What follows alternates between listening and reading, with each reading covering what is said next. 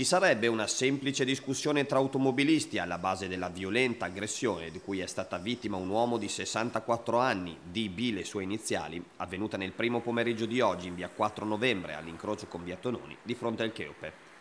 A colpirlo due sconosciuti scesi da una Fiat Panda con cui l'uomo aveva avuto un confronto per ragioni di traffico. Gli aggressori lo avrebbero assalito proprio di fronte alla pizzeria, colpendolo con un paio di pugni al volto e facendolo cadere a terra è stato portato al pronto soccorso per i traumi subiti. Sul posto la polizia che si è messa alla caccia dei due, fuggiti dopo aver malmenato il 64enne. A quanto pare diverse persone avrebbero assistito alla scena, gli investigatori hanno in mano elementi concreti per risalire agli aggressori. A scatenare tutto, a quanto sembra, questioni di viabilità, una discussione degenerata quando, a quanto pare, uno dei due ha preso per il collo l'uomo e l'ha colpito violentemente.